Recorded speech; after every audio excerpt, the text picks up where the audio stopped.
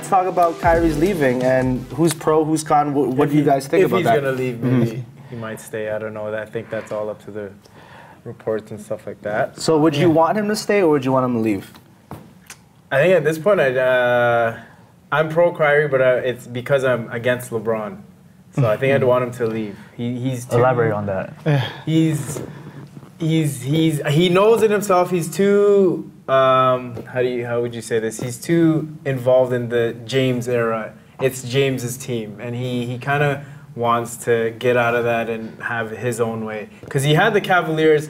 Cavaliers was on his back from when he was like first drafted all the way up to like when he was 22 years old. And although he's too young, he didn't know it then. And then when LeBron came, he kind of went under him, and then now he kind of wants it back to back when he was 21, and he wants it, that on another team be the main focal point. Yeah, because LeBron, that was when LeBron left for Miami.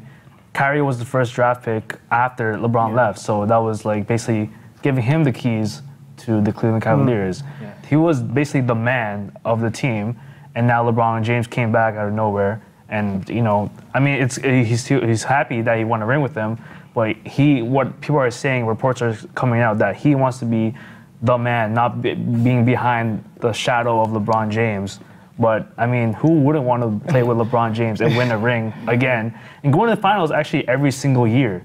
Because that's what he's been doing with. So are you, are you for the trade or I'm not the trade? Are you for Well- him leaving or would you? He's not technically leaving. It's more is are you for him requesting to trade? Trade, yeah. Are you for him Well, requesting yeah, to I, trade, or are you? I against am. I am that? uh, for uh, him requesting a trade just because I feel like LeBron is going to leave anyways from Cleveland. Whatever team he goes to, I don't know. But I mean, why not? Uh, unless, unless, yeah, I, I- I do believe LeBron's going to leave. So why not leave now before anything else happens? Because whatever, I, I believe in that once once LeBron leaves Cleveland, Cleveland's not going to be a great team. It's going to like probably drop down to not even make it to a playoff spot. Mm-hmm. Mm. Well, to probably like counter your points, just like, like you said, LeBron's the greatest like player right now on the court. Like, isn't it kind of selfish for you to like request a trade when you're alongside the best Mm. player in the world? And like, I get your point, like this James' team, mm. but like you know when you talk about Batman and Robin, but like I don't really see Kyrie as a Robin because he's mm. he's he's you know 20 20 plus points a game and He feels like he's. yeah, but he's like up there, arguably the best point guard in the East, right? And pretty much he made that game-winning shot that Yeah. give them mm. the, that, that ring, right?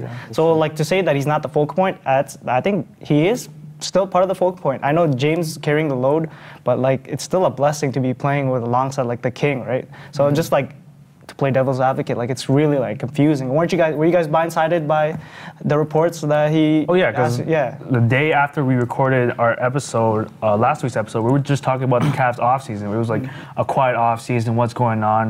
Um, is LeBron going to leave from Cleveland? And then the next day, in the afternoon, someone um, someone from ESPN reports that Kyrie requested a trade. He either requested a trade just last week or uh, like somewhere around this time or before the draft. So I mean, he still requested a trade, and he's, he was in China promoting with Nike and hasn't been in contact with Cleveland Cavaliers since then. Even returning to uh, America, he hasn't been in contact with Cleveland Yeah. since then. It was leaked in a sense. Um, but how it, I'm actually not blind. Uh, I wasn't surprised by it, just because the way you really look at how the Cleveland Cavaliers has been the past few years. Remember when, he, um, if you think about who Kyrie is, his biggest mentor is Kobe. So you got to think about him as how you would think Kobe would uh, handle situations like these.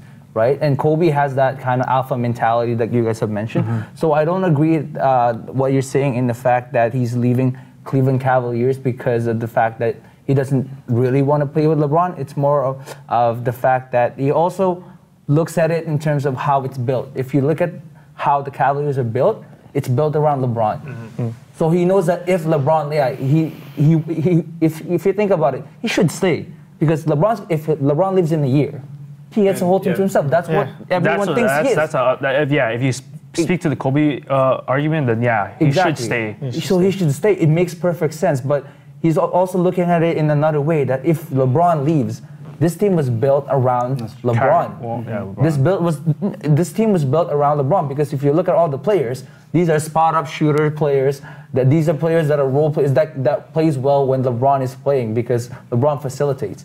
But Kyrie doesn't play that. These guys are slow. These guys are old. Kyrie is, if you watch Kyrie's game, he plays fast pace. He's, you know, he's all about speed. Mm-hmm. So if the, LeBron does leave, that leaves Kyrie with players that he doesn't play well against, I, I just and he's gonna think, struggle. I just don't think Kyrie doesn't. He doesn't just want any part of that anymore. He- He, he doesn't want to have to go in on an offseason and say, "Is LeBron leaving?" Is Yeah. Mm. he doesn't want to have all these variables because it's James's team. He just wants his own team. And then He after New York when Knicks. LeBron leaves, it's like that Yeah. all that build up to now. Yeah. Let's is rebuild this to a championship she- Exactly, team uh, once again. Um, well, what do you guys th- do? You guys think because Kyrie's been requesting a trade to New York, Minnesota, uh, San Antonio, and I, there's one more team, Miami. Do, you, do you guys think there's that's probably a, a, one of the landing spots that you might go to? I heard, even heard Phoenix. Phoenix was a, Phoenix, Phoenix, yeah, a recent report. recent Well, it report all with Josh depends on the trade, the, the trade, yeah, the trade Yeah. offers that Cavs are gonna get from it. Well, like I feel like Spurs would be a nice fit. Like the Tony Parker is not gonna get any younger. Mm-hmm. Like it's a nice fit, but even then, like you're still kind of in the shadows of Kawhi He's black Leonard. Kawhi. Yeah. but like maybe I, I heard a report today actually that he really badly wants to go to New, New York, York? and I've just Yeah. I'm actually a pro New York guy, Yeah. just because the fact that he he's gonna play alongside Porzingis, Mm. and he's gonna get what he wants in terms of being the main man. Ball control. But he's gonna have the type of players that complements him. Yeah. If you think about it, Porzingis is a better fit to him than Tristan Thompson or Kevin Love. yeah. I, I, he's a shooter, Well- but can defend multiple positions. Do you The only think thing about Kyrie- New York is gonna be it's Yeah. gonna be a process. Yeah. Yeah. Do you Yeah. think Kyrie uh, to New York is like a playoff team already, or like it's still like you said a process? No, but the it's thing gonna be a I don't think that's what he wants right now. He wants to be yeah. the main. He's, he won a championship. He's proven already that, and he took the biggest shot.